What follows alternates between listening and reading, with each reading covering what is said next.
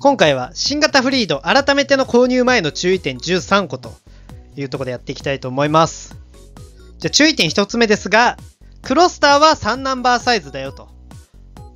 これまあ分かってるっちゃ分かってたけど、一応ね。でも3ナンバーだからといってそんなに不便することはない。多少フェンダーが出ててちょっとでかくなるってぐらいなんで、そんなに気にすることはないとは思う。うん。ということで1つ目は、クロスター3ナンバーサイズだよという。今でも3ナンバーでもね、税金一緒やもんね。あ、なんかでも重量税がクロスターは高いみたいな話聞いたな。重くなってるから、なんかそれもし知ってる方いたら、ぜひコメントとかしていただけるといいなというところで、1つ目はクロスターは3ナンバーだよと。注意点2つ目ですが、9インチナビ以上じゃないと、マルチビューカメラ、アラウンドビューモニターはつかないと。つける、つけてても映らないということで、これ、ステップワゴンとかもそうなんだけど、でかい落とし穴なんですよね。だから9インチのナビつけましょうというところ。NBOX もね、9インチナビじゃないと映んないですもんね。うん。でも8インチのナビは、だから、この後いうちょっと、ちょっとあれな形容にあると言言ってもいいとは思います。うん、ということで、2つ目の注意点。9インチのナビだと、パノラミックビューモニターは映らないというところで。枝毛になってた。じゃあ3つ目の注意点ですが、11インチのナビだと CD、DVD に対応すると。オーディオ、どうしてもやっぱ後ろ乗ってる子供に DVD 見せたい。までも、ちょっとあれ注意点あるからな。まああれですけど、あれですけど、もう、子供に見せたいよっていう方も11インチのナビつけましょうと。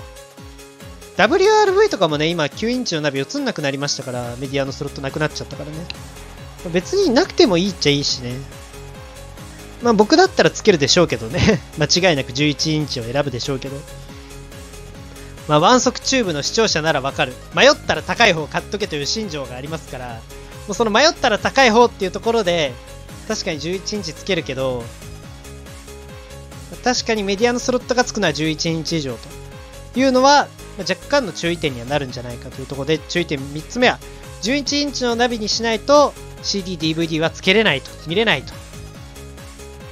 注意点4つ目ですが、Air EX とクロスターの EHEV かつ6人乗りモデルのみパノラミックビューモニターリアクロストラフィックアラート ALH の設定があるよと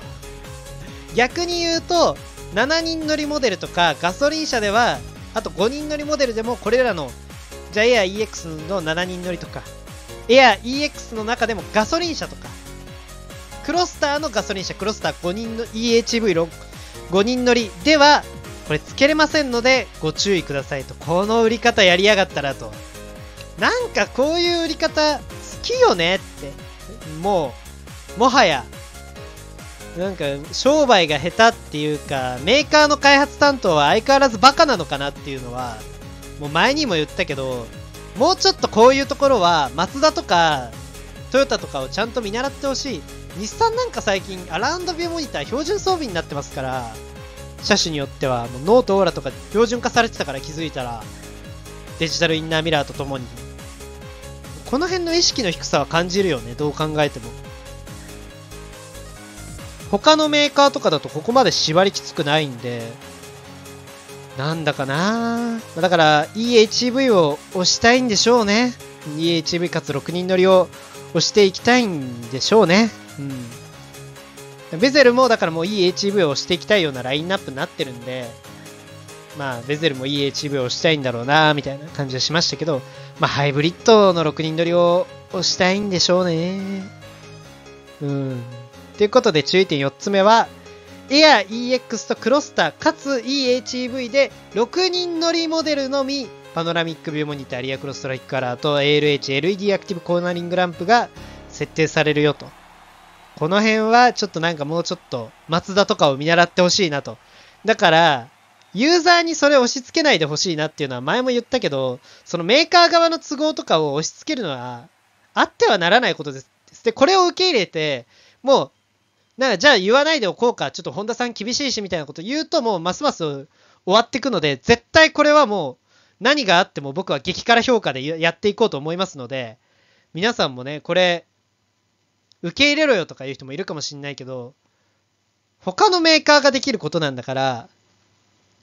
改めてここはもう辛口に、ちょっと他のメーカーと横断的にしないと、それこそ松田さんとかにも失礼になりますし、トヨタさんとか松田さんとか日産さんとかスバルさんにに失礼に当たるので、まあ、ここはもう激辛評価でやっていきますよ。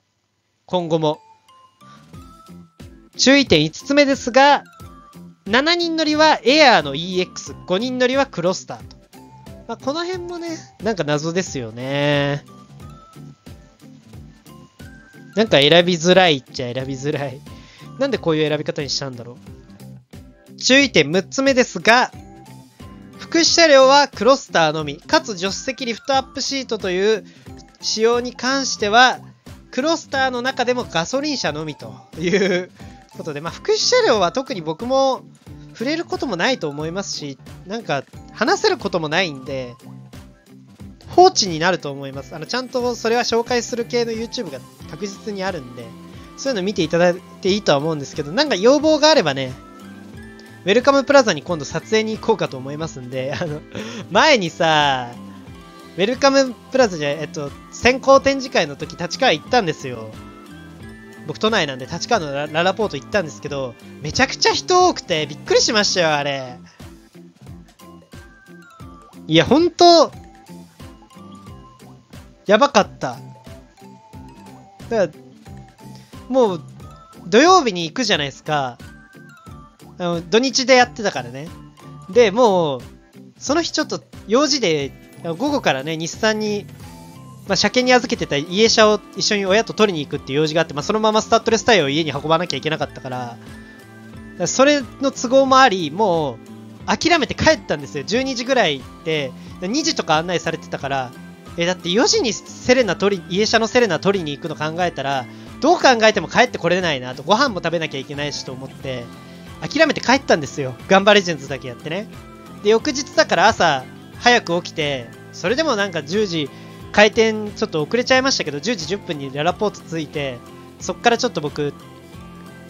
ビッグな弁を催したから、ビッグな弁出してから、並んだんですよ。フリードのところ。そしたら12時の案内とかって言わ、12時半とかで案内されて10時半に受付してですよ。ちょっとさすがにね、で、しかも人も多くて動画全然撮れてないし、全然ゆっくり見れなかったんで、またちょっとね、ウェルカム、青山のね、ちょっとホンダのインター、いや、間違えた。また、ちょ、レクサスと間違えた。ウェルカムプラザね。ウェルカムプラザにね、リベンジがてら取りに行こうと思うんで。その時に展示してたら、取ってくるかもしれない。ウェルカムプラザで取ってきてほしい車、何々取ってきてくれとかあったら、あの、リクエストしてください。で、ちょっとね、その後グローバル本社も行きますから、僕あ余裕あればね、インターナショナルギャラリー行くわ、レクサスの。で、日産グローバル本社も行って帰ってくるみたいな。頭はおかしいことをしようかなと思ってるんで、1日で。あの、グローバル本社ギャラリーもノートほら、週末に見に行ったら人多すぎて全然撮れなくて、あの、ショート動画1本撮って帰ってきたみたいな状態なんで、もう一回ちょっと行こうかなと思ってます。グロ横浜日産グローバル本社。ノートオーラオーテック撮影してきますよ。日産とか、ホンダの、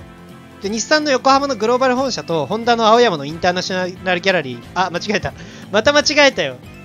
インターナショナル、あ、間違え、どっちだっけ？あ、ウェルカムプラザですね。ウェルカムプラザで撮ってきてほしい車あったら、ぜひあのコメントに書いていただけるといいな何々の仕様を取ってきてくれとか、あの、あったら取ってきます。はい。注意点7つ目ですが、エアーではフィヨルドミストパールとルナシルバーメタリックが限定カラーと。うん。まあまあまあまあまあ、これは。で、注意点8個目ですが、デザートベージュはクロスター専用と。このデザートベージュさ、色味がさ、レクサスのオーバートレールのムーンデザートみたいっていう ね、あの、まあ我々ちょっとレクサス界隈の人間からするとね、NX のオーバートレールは話題になりましたけど、この前のあの、C、静岡の石油を CSK さんが愛知で行ったオフ会の動画出てたでしょ？あの時は、オーバートレイルのムーンデザート以外は全色揃ってたんですよ、NX。すげえなって思ったけど、あれ。まあ、それに近しい色ですよ。だから、フリードのさ、これでさ、誰か乗ってきてくれたらいいんですよ。ネクサスのオフ会に。だから、NX のとこにしれっと、NX とし、エンブレムのとこに上からちょっとレクサスのエンブレム貼っといて、NX350HAWD とかってなんかうまくエンブレム貼っとけば、バレへんから多分、色だけ見たらね。いや、バレるか。スピンドルグリルじゃないからね。ってことで。ちょっとネタで言いましたけど。まあ、そういうことも、まあ、それに近い色色ですね、これは。なムーンデザートの方がもっと白っぽかったような気がする。だ NX はまだちょっと改良型見に行けてないんで、あの、インターナショナルギャラリーの方に展示されてたら行きますね。あ、ちゃんとレクサスの方はちゃんと言えるんだな。注意点9つ目ですが、パノラミックビューモニターをつけても耳たぶは残るよと。まあ、これはやめてほしいですね、トレンドとしてはね。注意点10個目。リアクーラーとリアテレビ同時装着は不可だよと。だからどっちか選ばなきゃいけないよというところですね。注意点11個目は、エアーではこれだけの装備がつくよと。で、当然ながらパノラミックビューモニターとかのパッケージはつかないよと。つけれないというところで、今回急ぎで作ってはしょったんでね。まあ、